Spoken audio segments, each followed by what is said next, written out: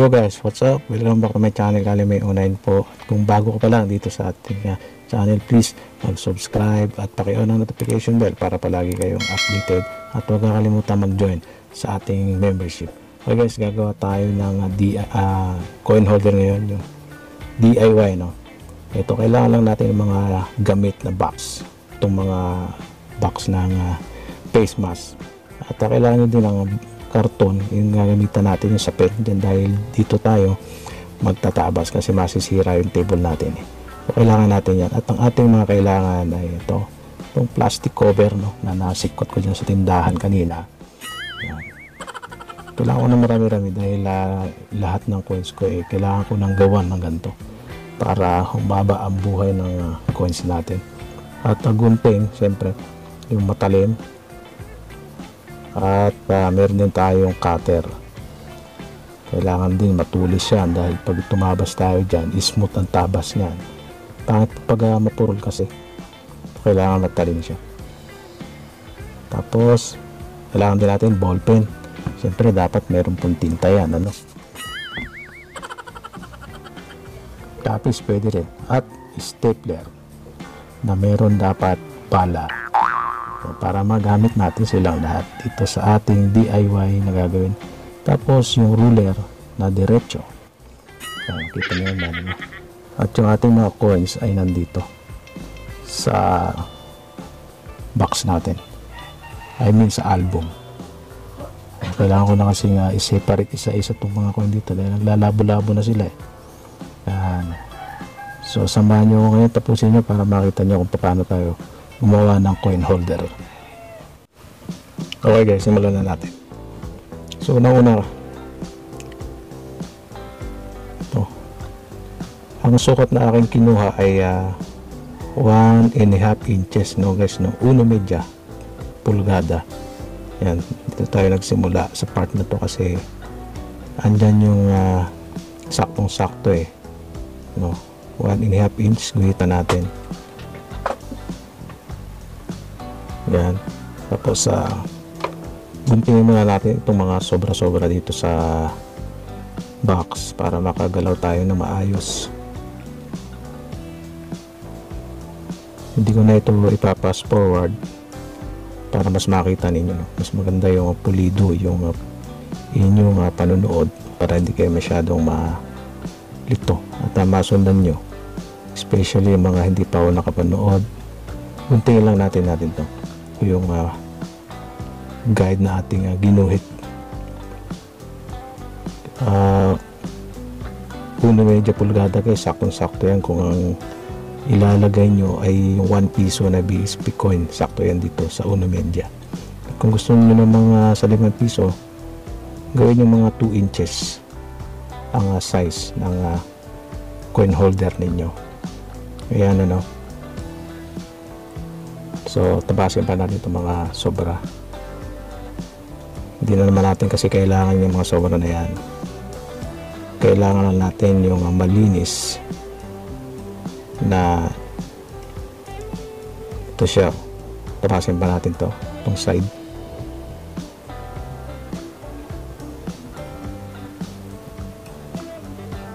Yan. Then, pagkatapos, yan siya oh.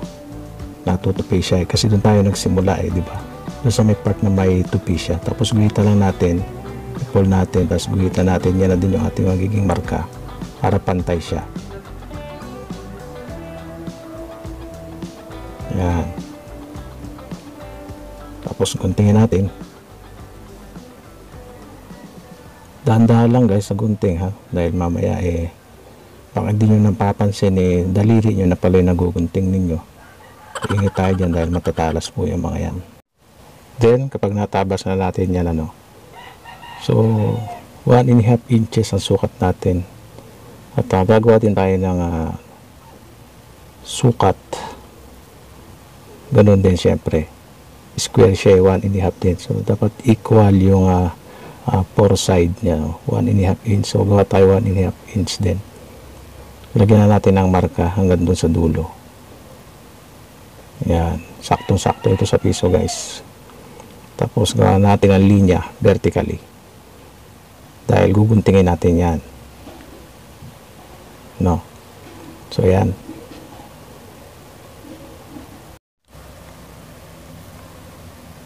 Tapos guntingin lang natin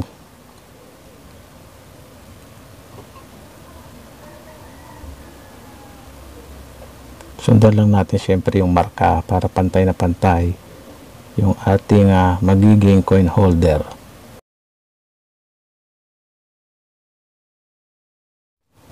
Okay guys ang uh, next step natin ano? Pakita ko muna sa inyo yung coin na ating uh, gagawa ng holder. Ito yung aking 1 piso na pinakamahal eh. Ito yung uh, tinatawag kong uh, verse 3 no? 2013 ayan siya guys napaka valuable nitong coin na to. At siya yung uh, uunahin natin.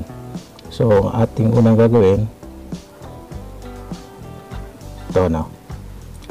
Tignan nyo na mabuti guys no? Kumuha ako ng isang piso dito para gawin nating guide para di magasgasan yung ating uh, 2013 ilagay lang sa gitna yung piso. Then maglagay tayo ng marka paikot. Ang ating pong gagawin guys ay octagon. Kasi yung may design eh mas maganda siya kapag mayroong uh, kanto-kanto. So doon sa bilog gumawa lang ng uh, square no? Yan ganyan po paggawa ng uh, octagon walong kanto. Sa loob ng bilog I mean sa labas ng bilog gumawa lang ng square. Tignan nyo lang yung aking ginagawa. Hindi naman mahirap gumawa nito guys. Pero syempre pag gantong mga DIY tutorial pag ako gumagawa ng content eh gusto ko mas nakikita nyo. Para hindi na tayo masyado magtatanong. Dahil dito pa lang sa content makikita nyo lahat. Tapos gawin natin guide sa side. Guhitan din natin ng diretsong linya bawat kanto. Yan. Siyempre apat na side yan eh. Nasa loob yung bilog. So ayan ano.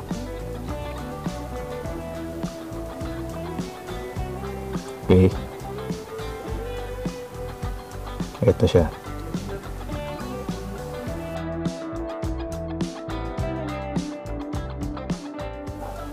tapos tabasin natin guys. Sundan lang yung guide na ating ginawa para makabuo ng octagon. Then guys ganito ang magiging result niyan kapag natabas na natin ano. Ayan. So octagon shape siya. Di po ba? Kita nyo naman. Maganda ang pagkakatabas kasi matalas yung ating uh, cutter. Tapos ang uh, next step natin gagawin i-fold lang para makuha natin yung eksaktong uh, sukat yan. Tapos guhitan lang natin.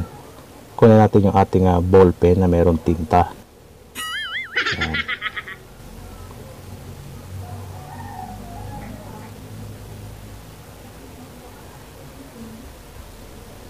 Okay. Okay na ulitin lang guys. Kunin lang yung cutter natin gamitin yung ruler para meron tayong guide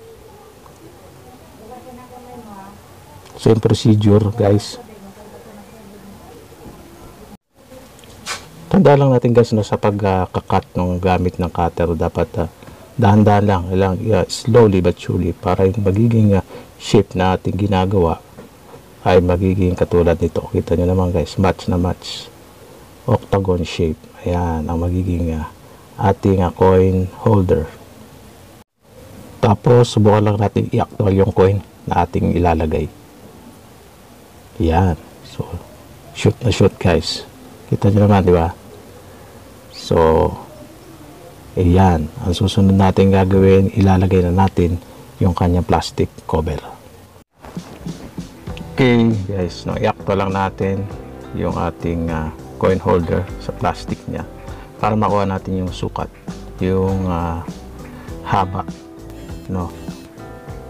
Yan magkabilang dulo para meron tayong guide. Kasi ikakat natin yung plastic cover na yan eh. Gumamit tayo ng ruler at uh, ikakat na natin ng diretso yan ng ating uh, cutter.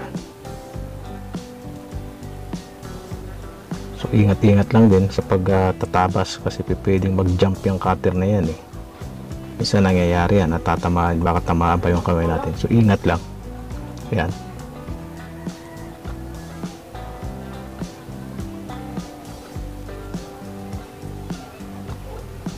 Okay. So pag okay na actual natin uli siya para makuha natin yung lapad.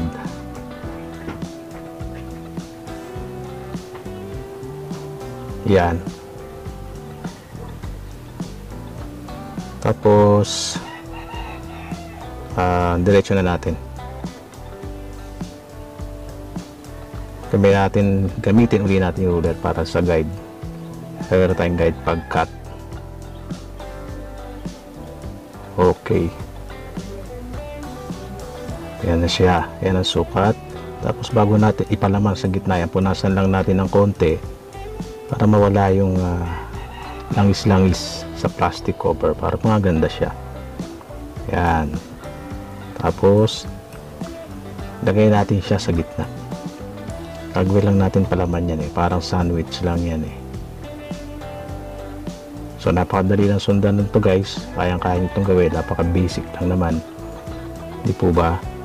Ayan. Igitna nyo guys. Para pag tinupinin nyo, kitang gitna siya. So okay lang kahit may sobra-sobrang konti. Pwede naman nating guntingin yan mamaya.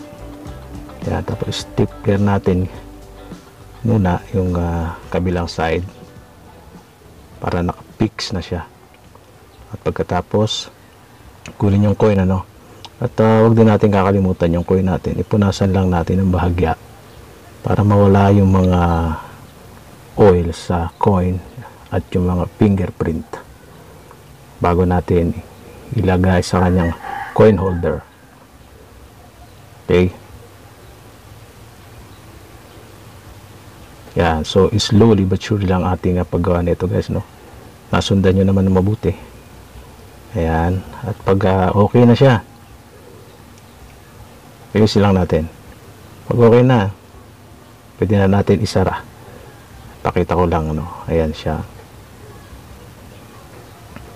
Alright. Pag okay na, sara na natin. Stapler natin yung magkabilaring dulo. Medyo pa-island siya. Yan and sa kabila yan so tapos na okay na ang ating coin tatabasin na lang natin yung sobra kita nyo yung sobra sa gilid gugupitin lang natin yan so ganun lang kasimple guys meron na tayong uh, coin holder na gawa lang sa ating uh, bahay no? ayan so pwede nating uh, ma-secure ang ating mga coin nang nakakamenos tayo sa pera. So ayan. So kung uh, bago ka pa lang dito sa ating channel, huwag mo pong kakalimutan mag-subscribe at uh, paki-on mo yung notification bell para palagi kang updated. At uh, huwag niyo pong kakalimutan mag-join sa ating uh, membership. At uh, maraming maraming salamat po sa inyong lahat. Until next time po. God bless you all. I'm out.